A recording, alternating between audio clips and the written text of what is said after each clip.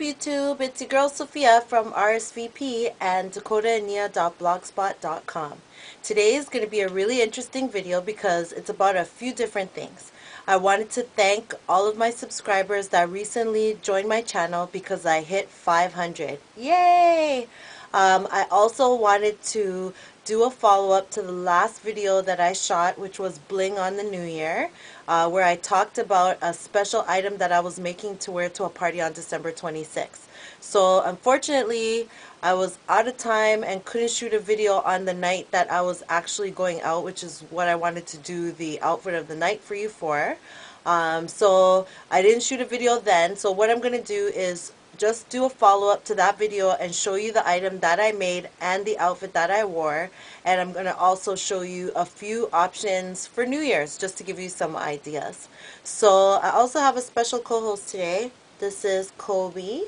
Kobe was a Christmas gift to my niece. I'm babysitting her today. Say hi Kobe. Um, so if you want to see the item that I made for that special all black affair December 26th and you want to see some options that are really good for New Year's, stick around. I'll be right back. Okay, so I'm back and I just wanted to show you the item that I worked on that I made by hand and here it is. Okay, not everybody is going to like this item. It's very, very over the top, um, but it's something I definitely wanted to try out. And basically what I did was I went to Value Village, I bought a knit hooded sweater, I cut the hood off, and then by hand I sewed over 200 beads onto this hood. Um, I put a few Swarovski crystals um, in some spaces on the top, but not all the way through. And then um, on the edge where I had cut it, I covered it up with some bias tape, some satin bias tape. So this is the hood. It's pretty crazy.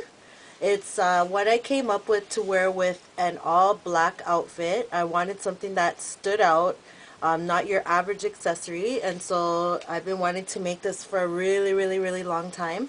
Um, so it took me probably around, I would say like 13, 14 hours altogether. But I did it in three different sessions where I worked for, you know, three or four hours at a time on it. So it's pretty crazy. So just wanted to give you a close-up of that and I will be back with this on and the completed outfit. Okay guys, so I'm back with a shot of the hood um, and the way that I wore it out to this black affair party on the 26th. So there's two, three snaps that I put right down here so that I could close the hood, which is sort of the way that I wore it when I was walking into the party. Um, no wind can get in here. It was really, really great on my ears. Um, and then I'm going to turn around and do a shot of the back for you. So as you can see, the whole thing lays down really, really flat. And that's because of the weight of it, because of all the beads. Um, and then also, if you wanted to take the hood off inside the party or just pull it down, you have the option of wearing it like this. And that's where it really, really uh, comes in as a unique accessory because you could be wearing a tank top, you could be wearing a long sleeve tee, you could be wearing basically any type of top, even a dress, and just attach it at the back. So it's really, really, really cool. And um, so that's the way that I wore it in. And then when I was inside, I unhooked it. And so I'll just try it on for you one more time. Um, and I sort of wore it just a little bit back on my head like that. And it's really really heavy as I said because of the beads. So that's sort of how I wore it while I was dancing and getting down in the club. So that's a close-up on the hood. Um, again not everybody's gonna like it. It's really my style something unique and out there. I wasn't afraid to take a risk and try something new um, it, it can be custom ordered I actually did get two orders on the hood already um, so thanks for that. Um, so I'll be back with the completed outfit and your options for New Year's Eve. Okay guys, I'm back. So this is the completed outfit um, that I wore to the all black affair. So obviously the hood was the most extravagant part of the outfit. So I wanted to keep everything else really, really simple. I'm filming a different way today, so I hope you guys can see it. I'm wearing a very basic black tee v-neck t-shirt from BCBG. Um, then I paired that with a basic Hervé Leger black bandage skirt. Um, I got it on sale. Probably I spent around 200 or $300 for it and it was originally like $7.95. So that's the skirt. And then I wanted to show you my boots. My boots are also Hervé Leger. And um, these were the 2009 collection. They have lots of, sorry about the camera, and oh my god, girlfriend, careful. So they have chains and snake detail. Oh my god, Kobe's going crazy. And so again, opaque tights, a simple Hervé Leger black skirt, and black t-shirt. And I'll be back with the final two New Year's options. Alright, so the second last outfit I wanted to show you was a New Year's option. It's a simple black dress option. This dress is a dress by Max Azria.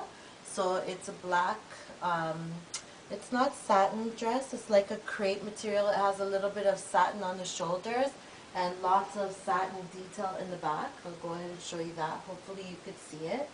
But it's a short uh, cocktail dress and I paired it with a pair of opaque pewter silver color tights and a pair of black ankle boots that have a little bit of um, stones or bead jeweling around the corner. So that is a New Year's option. Um, and I could have went with a super high stiletto heel, but I like to be really comfortable if I'm going to a party and I want to dance for a long time. So I chose a heel that was maybe around 3 inches instead of a super high 5 inch heel for me. Okay, so this is the last um, New Year's option I wanted to show you. It's a sparkly number from BCBG's Ready to Wear collection. Um, I think New Year's is like the perfect time to get away with wearing a full sequin dress or lots and lots of sequins or bling. New Year's is the perfect night to do that. So um, that's why I'm going to do this dress, which is a shift dress that they do every season, all in sequins. So because it's a shift dress, it has no shape, so you definitely have to belt it if you want to emphasize your waist. I did it with some bangles that I picked up last season at H&M. Um, I kept on the opaque tights in, in pewter, but I would change them to black. And then I also did an ankle boot with a hidden platform. So this is a really good option for a clubbing or party scene for New Year's Eve. Um, the color and the sequins are really, really, really festive. Um, so that's pretty much it. I gave you a black cocktail dress, a sequin number, and my outfit from the All Black Affair. So thanks again to all my subscribers um, who've been tuning in and people that have invited me to be a friend. I just wanted to say thanks, and I'll see you guys next week.